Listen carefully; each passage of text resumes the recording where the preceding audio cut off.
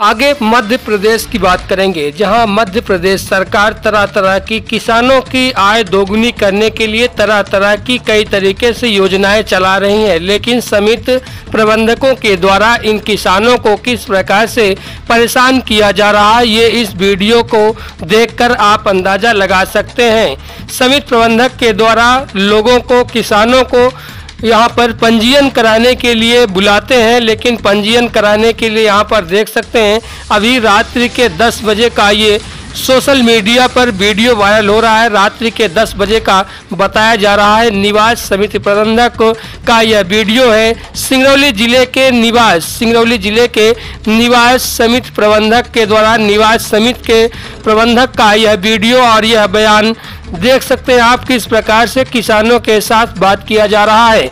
बताया जा रहा है यहाँ पर किसानों से 100 से 50 रुपए लेकर के और अपने चहेतों का ही यहाँ पर पंजीयन किया जा रहा है और किसान मजदूर परेशान नज़र आ रहे हैं।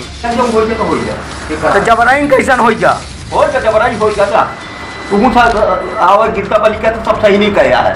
कौन करे रहे गिरदा वाली हम करे हैं तो हमारे गिरदा वाली अपना चेक करी। तो हाँ। हाँ दिखाई अपना हमका। कोई तू एक एक नंबर हरिश्चंद वाला काम है। हाँ है? ना?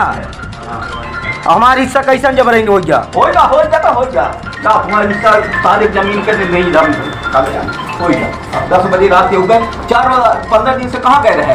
अरे पंद्रह दिन से कहोगे रहे? तो हमारी हिस्सा छूटा चाहिए ना छूटा चाहिए? तो हो गया दूँगी तो वो बंद